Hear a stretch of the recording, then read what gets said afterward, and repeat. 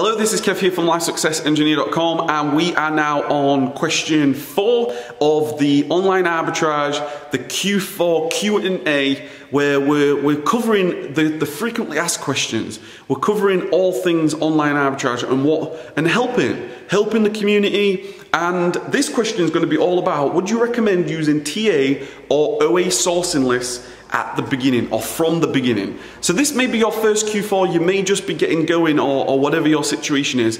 What is my recommendations for getting started sourcing? So sourcing is the most important thing because that's where you're getting all your products from. But the truth is, sourcing is difficult. Sourcing is difficult. So number one, if you do have to do manual sourcing, I do recommend that you can speed this up. Use all the Chrome plugins, okay? Use all the Chrome plugins, which I'm gonna have another uh, question on that and asking and, and answering these questions.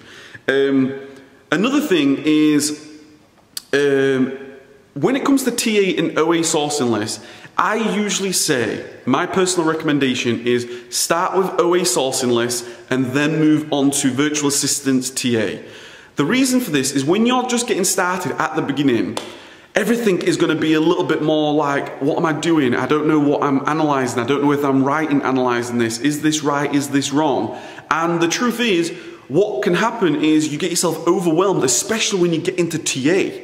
Then you have to run the scans, then you have to import and export and, and, and manipulate data and review and all these things. So my recommendation is always, as much as I recommend TA, and I really do, but get an OA sourcing list. You'll get 10 products per day, you get 10 products per day, and you can then start reviewing those products.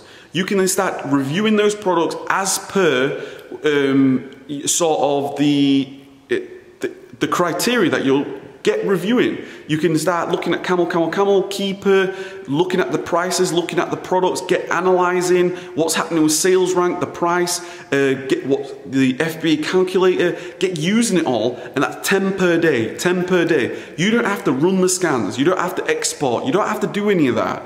I remember right at the beginning when I first started back in 2015, I would have to ask I would find a product after two hours manually sourcing and then ask my friends and they would go, great find, or have you done this, or you've not seen that. And then it'd take me another three hours to find the next one. Whereas when you got you got an OA sourcing list, you can use the online arbitrage mastery Facebook group. What do you think about this, guys? Get the conversation started. People will be able to analyze uh, Keepa for you and analyze and give you feedback on what's right and what's wrong.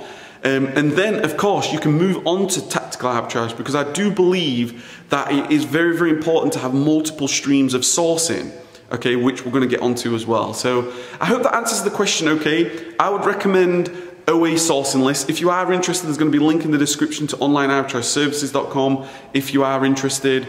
My name is Kev here from LifeSuccessEngineer.com. I am uh, I guess the founder of Online Arbitrage Mastery, the, the free course, and the, the uh, the Facebook group. Get the conversation started in there. I'd love to see you in there, and I wish you all a very, very best of luck in Q4. In the next question, the next question, uh, we are going to be talking all about the consistency of sourcing. I'll see you then.